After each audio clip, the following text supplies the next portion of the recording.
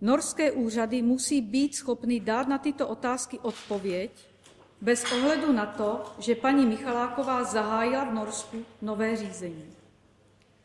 Vítám, že ministerstvo zahraničí konečně začalo v případu činit konkrétní kroky. Jeho postup je v ostrém kontrastu k absolutní nečinnosti zejména ministra Jiřího Dinsdíra, který má otázku lidských práv v popisu práce. Vzhledem ke spekulacím o důvodech odebrání dětí připomínám, že veškerá obvinění, včetně podezření ze sexuálního zneužívání, vznesená Barnevernem proti Evě Michalákové, byla odložena. A nebo v nich nebyla dokonce ani podána trestní oznámení. Policejní a lékařské zprávy mluví jednoznačně ve prospěch matky. Mám zde k dispozici a také vám všem bude rozdáno potvrzení o trestním oznámení z roku 2013, 18.9.2013.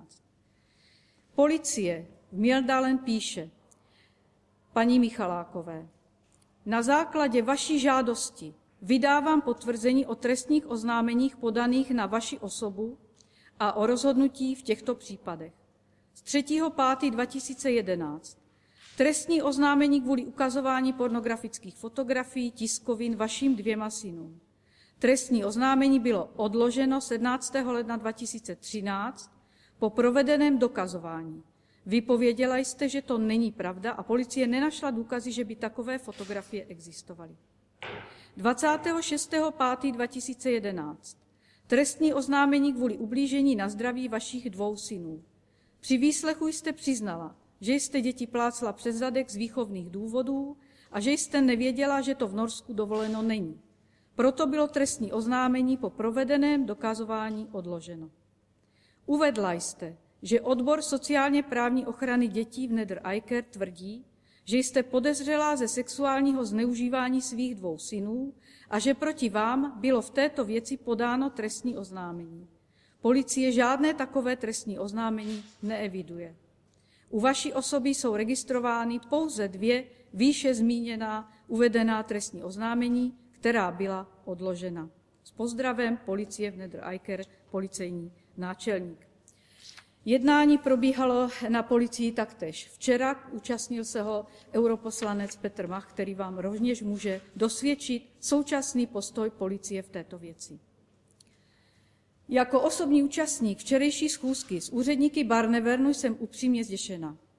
Barnevern výrazně přitvrdil podmínky styku matky s dětmi a neumožnil navýšení počtu jejich schůzek s dětmi v tomto roce přestože v rozporu se svým dřívějším rozhodnutím neumožnil dvě schůzky v roce loňském. Výslovně matce pohrozil adopcí dětí v případě, že nevydá cestovní pasy obou chlapců. Potvrzuji, že na opakované výzvy právních zástupců rodiny úředníci nevysvětlili, z jakých důvodů musí děti i nadále vyrůstat v pěstonské péči a navíc odděleně ve dvou norských rodinách. Postup Barnevernu podle mého názoru porušuje všechny mezinárodní normy ochrany práv dětí. Norové zcela očividně postupnými a cílenými kroky vytěsňují matku ze života obou chlapců. Usilují o to, aby mohli být natrvalo adoptováni norskými rodinami. Jak jinak si vysvětlit postupné zkracování intervalu schůzek a zpřísňování pravidel jejich průběhu? Takový postup je nepřijatelný i v lidské rovině. Je krutý a bezcitný. V případě, že kroky české diplomacie a české vlády selžou, jsem připravena opětovně požádat sněmovnu o zvážení mezistátní žaloby na Norsko podle článku 33 Evropské umluvy o lidských právech.